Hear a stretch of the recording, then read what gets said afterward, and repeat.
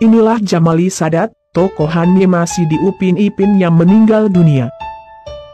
Tapi sebelum lanjut, boleh dong klik tombol subscribe-nya.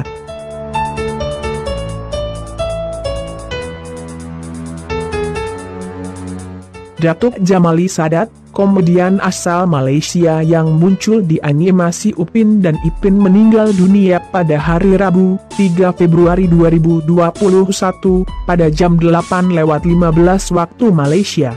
Komedian ini meninggal dunia pada usia 78 tahun di Kampung Sungai Pinang, Pulau Indah Pelabuhan, Kelang, Malaysia.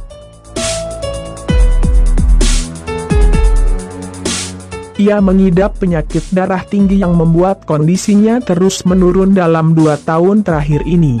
Datuk Jamali Sadat dimakamkan di tanah perkuburan, Kampung Sungai Pindang, Kelang, Selangor, Malaysia. Komedian Datuk Jamali Sadat pernah muncul dalam salah satu tokoh animasi di Upin dan Ipin pada episode Siapa Atan.